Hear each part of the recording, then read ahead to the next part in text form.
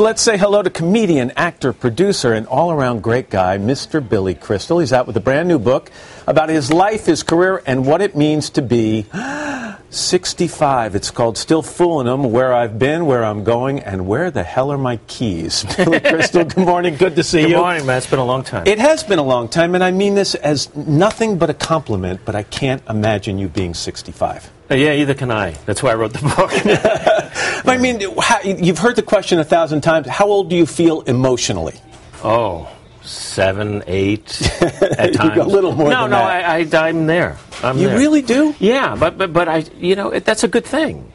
Because that's an assumption that 65 is done with, you're done, so on so. I feel better than I have in a long time. You're etched in my mind. I don't know why. You're etched in your 40s in my mind. Yeah. See, my 40s were difficult. Were they? Yeah, this is, be- this is more This is a better time? A much better time. Stereotypes about getting old, your memory starts to go. I'm sorry? no, not your hearing, Oh. your memory. Oh, yeah. No, no, my memory's pretty good. Yeah? Yeah. You, you also start to But let me tell you something, Al. yeah, I get mad. Um, napping. Do you just fall off in the middle of the day? No, no. Are you not a good napper? I'm not a good napper. No, I, I've never been a good. I'm, listen, I'm I'm an insomniac anyway. I, I've been up since 1948. So, so I, I, long I, I, no. I, I haven't done a napping thing yet. You get grumpier when you get older. People say that older people, as the people as they get older, tend to get annoyed more easily.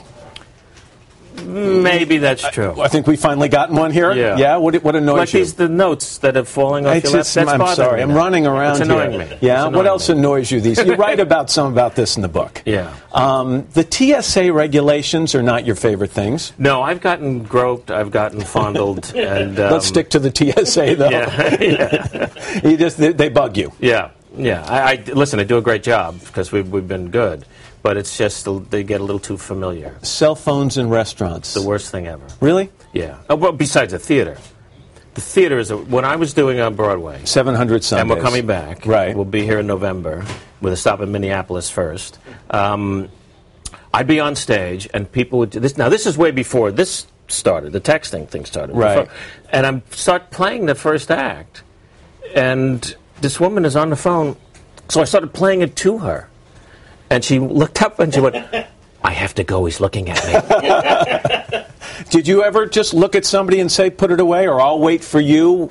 Answer One the phone. show we had 12 rings in late in the second act, and you know the show And people well. need to know. I've seen this three times. It's a very intense show. Yeah, and and it gets you know especially towards the end, and uh, and then they had personalized rings, so you'd hear.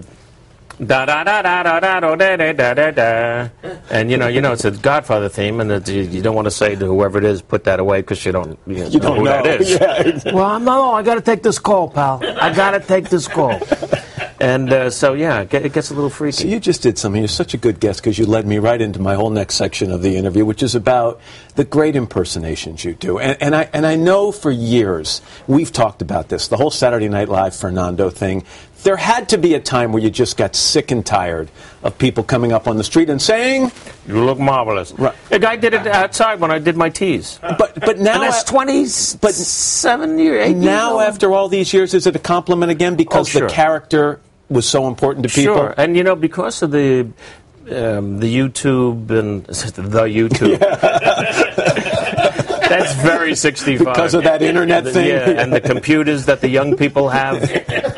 Um, yeah, it lives on. So people see it. So that's kind of great. I've always loved your Muhammad Ali, and, and I was reading that the voice actually came to you almost accidentally. It did. I was uh, at The Godfather, apropos of what I just did before. Right. And watching Marlon, who was so incredible in it, so I said, I could do this.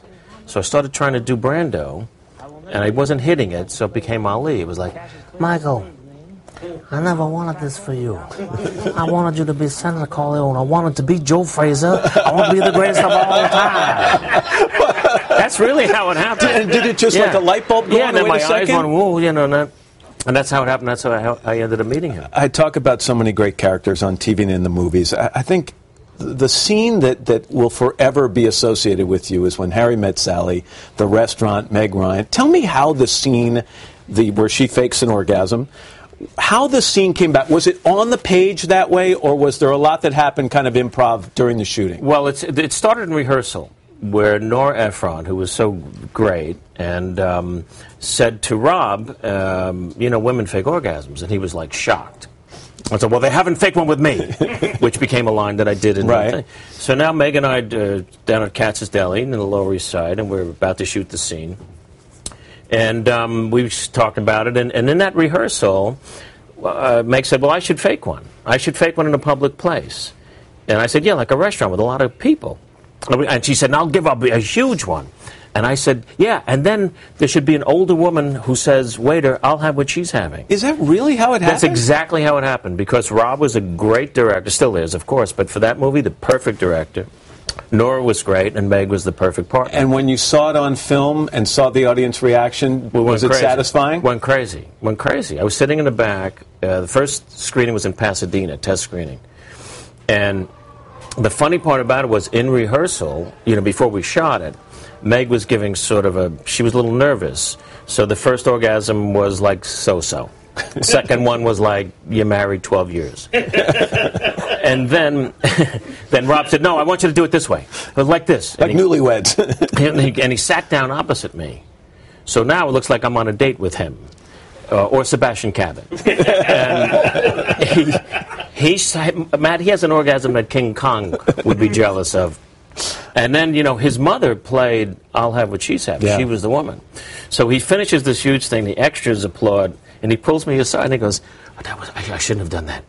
I said, no, Meg's fine. She's okay. No, I just had an orgasm in front of my mother.